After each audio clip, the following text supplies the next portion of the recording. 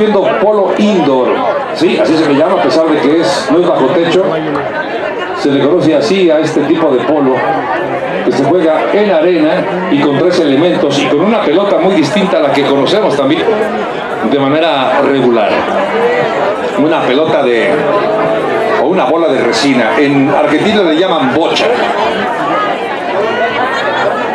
Pero aquí en la podemos llamar pelota, bola, como usted quiera. Ahora es el equipo azul que ya anotó gol del lado derecho, que intenta marcar otra vez del lado izquierdo.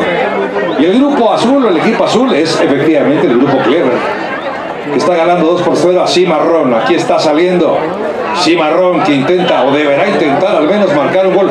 Son dos de diferencia, son cuatro chokers, así que bien haría el equipo Cimarrón en no despegarse mucho en el marcador, en la pizarra, en el tanteador, dirían los clásicos.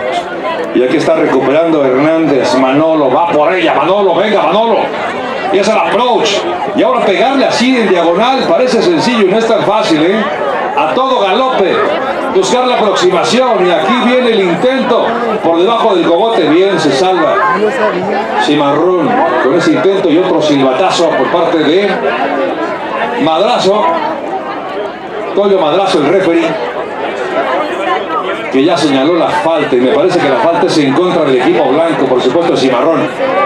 Ergo, estamos ante la posibilidad de que grupo Clever se vaya adelante por tres goles de diferencia. 3 por 0 podría ser entonces.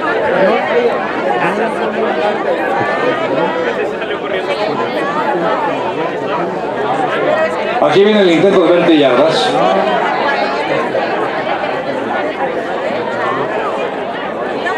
Ahí se está marcando el tanto de 20 yardas. Lo consigue Manuel Hernández. ¿Y qué creen? 3 por 0. Ya está ganando Grupo Clever. Así marrón. Escuchaba hace rato la porra. Me pareció escuchar la porra del Grupo Clever.